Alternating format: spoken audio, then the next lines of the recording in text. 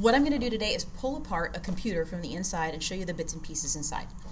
Um, how many of you have ever taken apart a computer before? That is awesome. How many of you for whom this that this will be the first time you've ever seen the inside of a computer? That is awesome. That's wonderful. This is you're gonna love this. Um, the the inside of a computer is a lot like a jigsaw puzzle, but actually a better metaphor I think. And sometimes I think of these metaphors when I'm just kind of walking down Broadway. Um, I think is like a model train set would be a better way to put it. Because you're putting together something that's like a puzzle that has parts in it that do stuff when you run current through them okay? A model train is actually a really good analogy for the bits and pieces and, and also how easy it is to put together. My um, one of my first jobs was actually putting together computers for my stepdad who has a computer wholesaling company in portland. So i would put these together and it was just like a jigsaw puzzle for me. I was like 16 17 it was a lot of fun. All right. What i'm going to do is pull this bad boy apart. Now for those of you who are going into networking and sysadmin how many of you know what this right here is it's called a utility key get one of these things right here. Come on. And carry it around everywhere. All right. It's got a little Phillips head on the back of it, and the Phillips head on the back of a utility key is the perfect size for in an emergency to get into computer screws on the top of basically any desktop. I'm cheating because it takes a while longer to do this, so I borrowed David's screwdriver from over there. So what we're going to do is I'm going to open this bad boy up and show you the inside bits of this computer. And then I'm going to put it back together again, and then we're all going to promise that if it doesn't actually turn on in terms of the light later on, that no one remembers me doing this. Okay?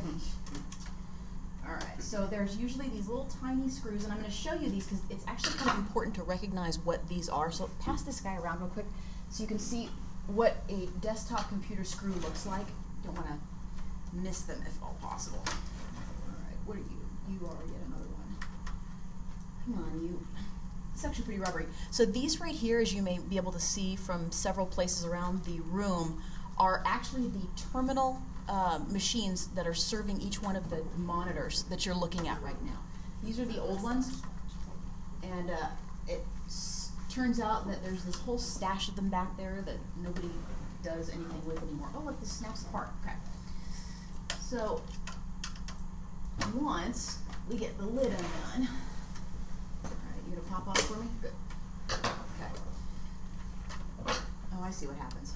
So it just pops all the way off. I haven't actually taken this guy apart yet. And then sometimes you get to use this to wedge crap out. This is an older box, so one of the screws got stuck in the side.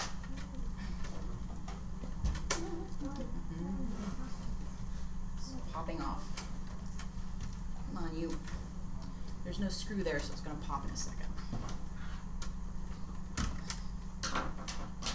older machines sometimes get stuck. Don't be afraid, just pop them right open. There you go.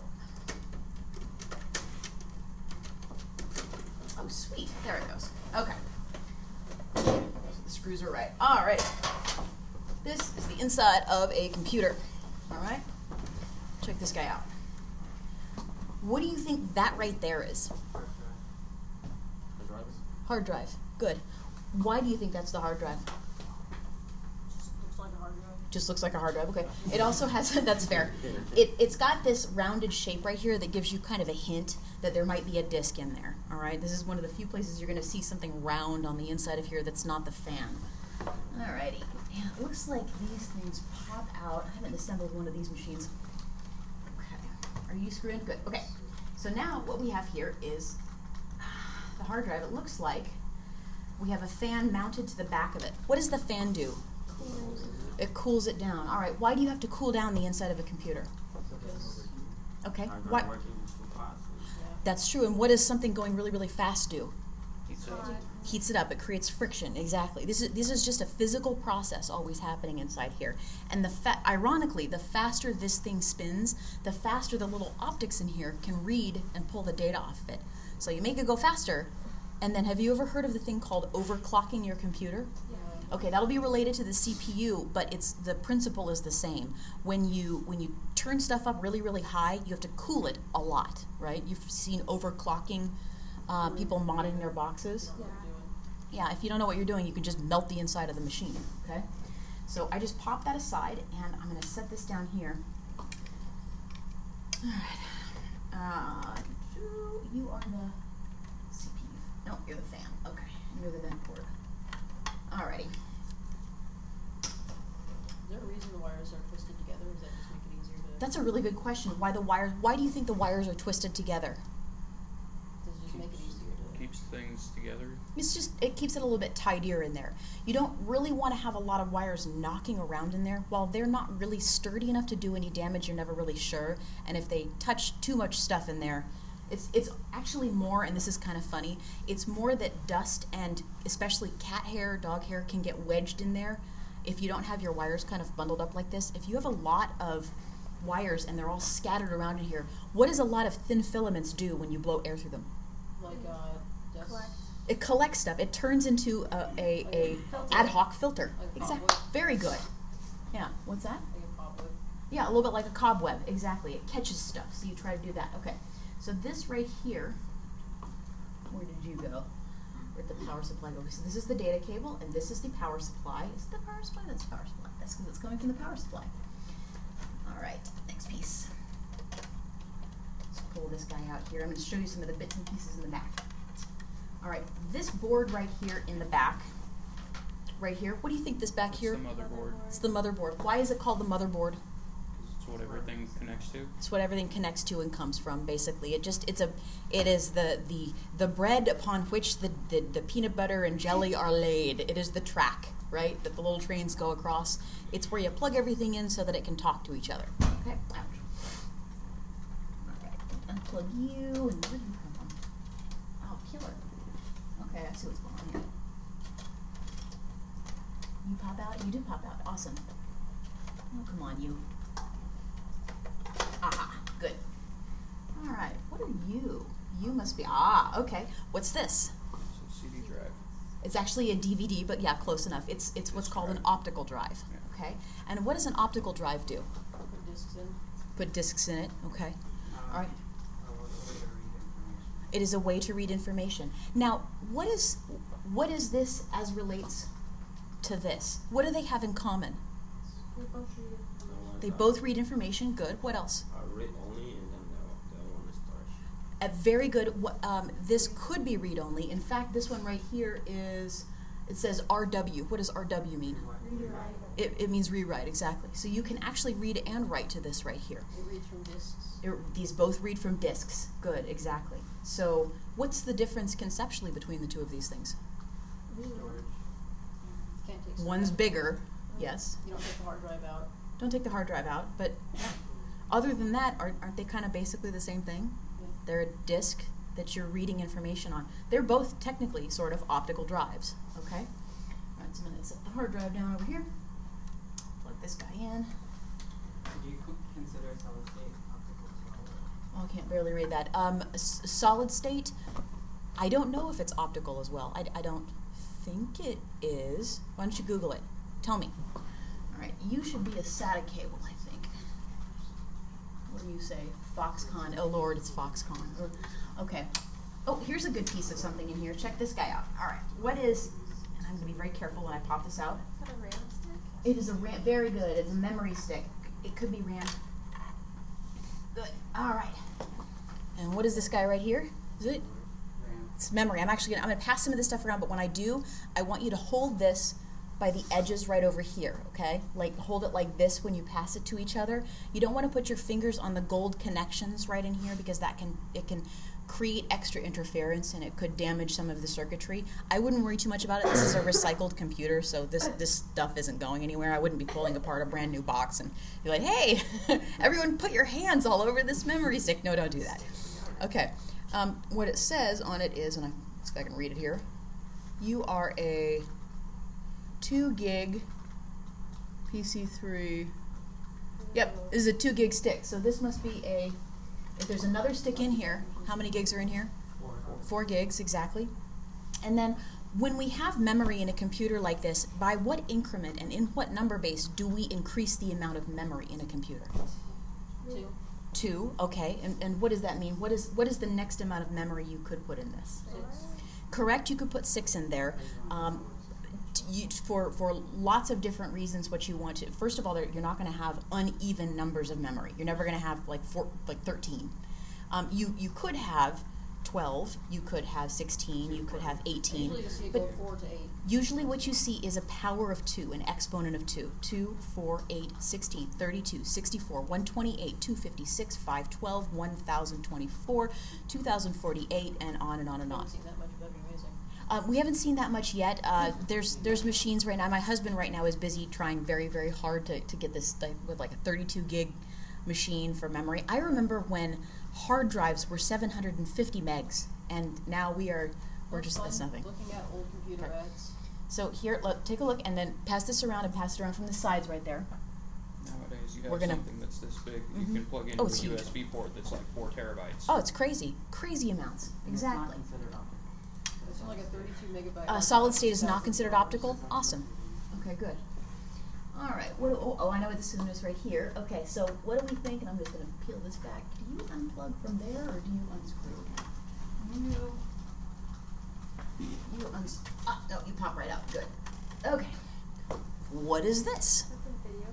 It is the video card. Awesome. The graphics card. Right. And then what do you think this thing is? Wait, no, it might not have a separate one in there. I can't quite tell under the fan. Let's see. disk in there or what? Um, it, it might be. I can't tell just from looking at it right now. It's been a while since I looked at, at an older ATI card or not. It may or may not have a separate GPU in it. What's a GPU? Graphic. Pro- yeah, graphics processing unit, exactly. So at a very minimum though, it's got a fan. Why does it have a fan in it? A separate fan in it. Because it, Because it gets really, really hot. Have you guys ever played a, a game um, or something like maybe I don't know World of Warcraft, something like that, and your graphics started to get chunky and and bitted, and you had to let your computer cool down to play it again?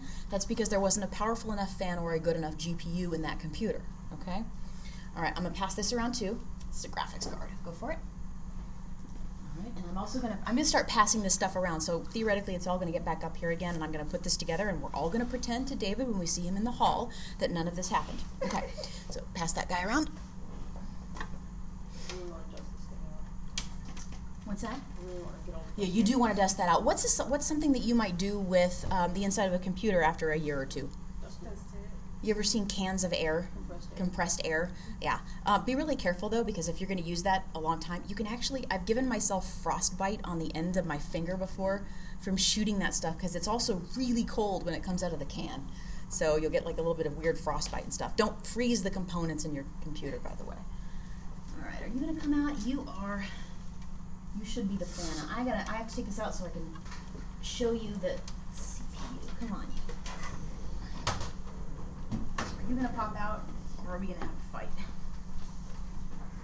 It's gonna fight. It's gonna fight me a little bit, but I'm. I'm gonna bet I'm gonna win. Okay.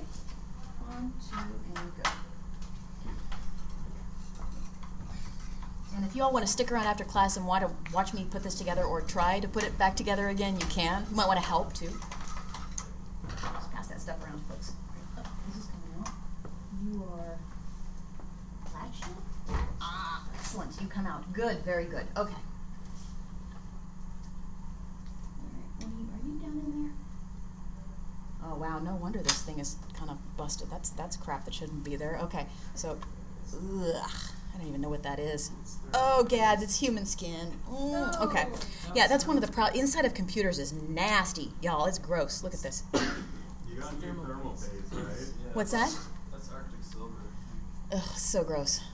So there, this, there's, yeah, it's, it can be thermal paste, but but you, you should see the outside of it. See this this stuff right there? Yeah, that's hair and human skin, and that's what gets into something like this.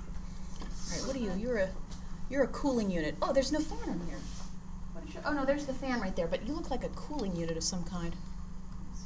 Oh, very cool. I have no idea what the hell that is. Ah, it's a th- it's a thermal cooling unit. Okay, so pass that guy around. Alrighty. And then what did that cover up? What do we think that right there is? We have a question.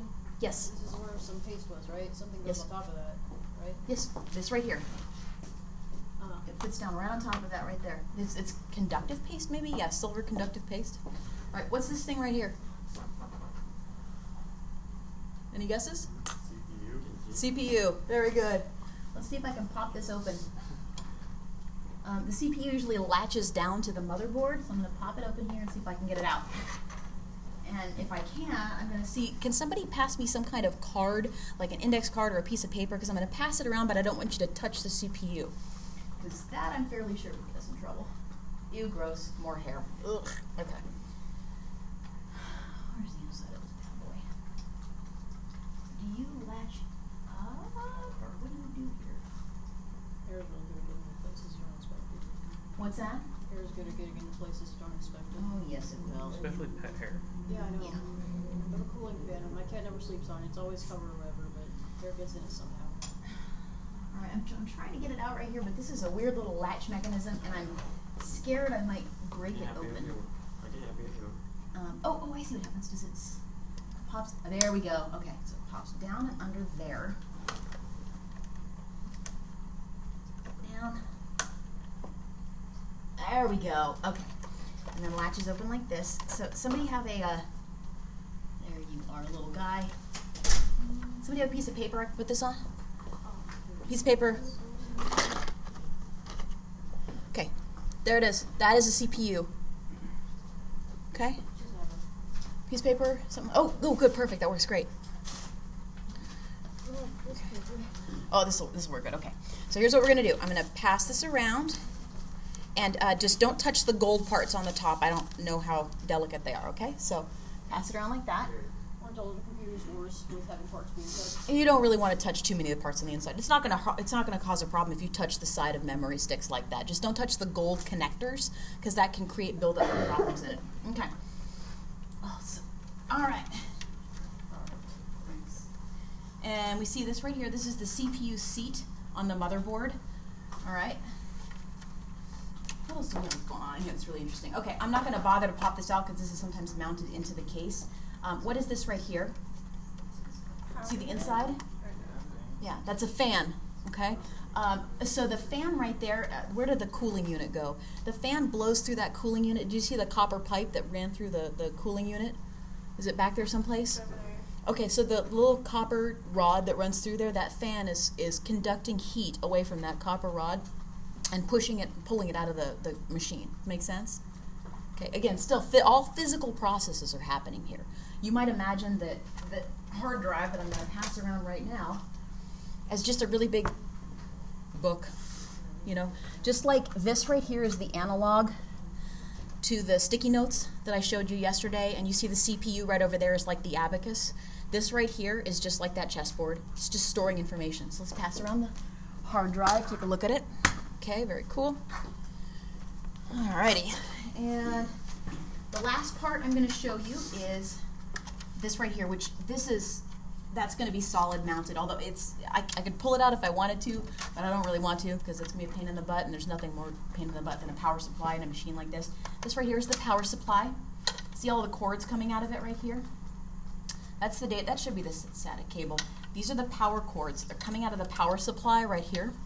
This is a barely read this guy. 88 watts.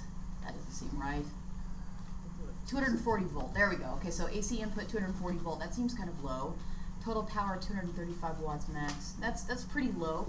Um, for but but this is a little tiny machine right here. Its job really only is to sit there under those monitors and serve stuff up on the interwebs for you folks. Okay.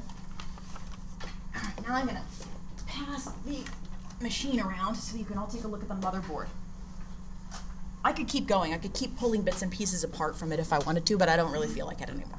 Okay. Wow, that's gross. So just pass that around so folks can take a look at the motherboard if they want to. Okay, um, is that is that helpful? You've had your hands on the inside of a computer, on the guts and bits now. That reasonably cool. I'm awesome. I'm glad to hear that. What questions do you have about the inside of the machine and how it works? So when the um when the Mhm. company made the computer, what what they used to assemble all this part?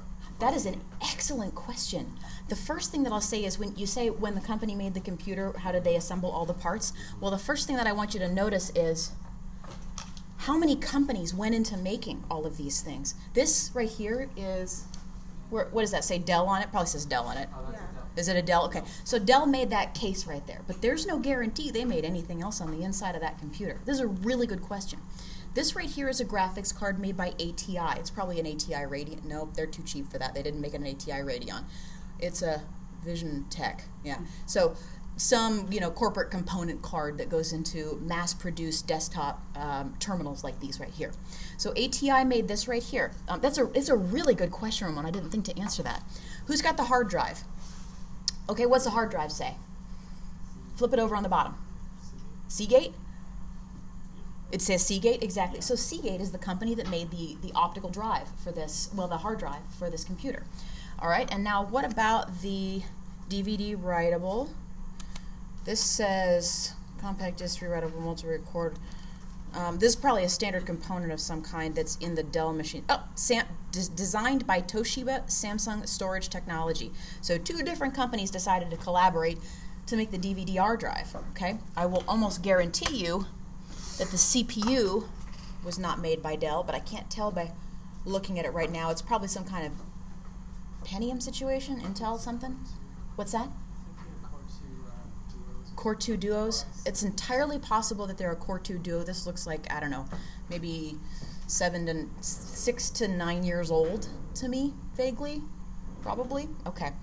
So, yes, so the answer to that question is there's a lot of different components that go into making this up, and they're a lot like a car that way, all right? Toyota doesn't just make all of the stuff inside a Toyota, there, there are parts and bits and pieces made everywhere.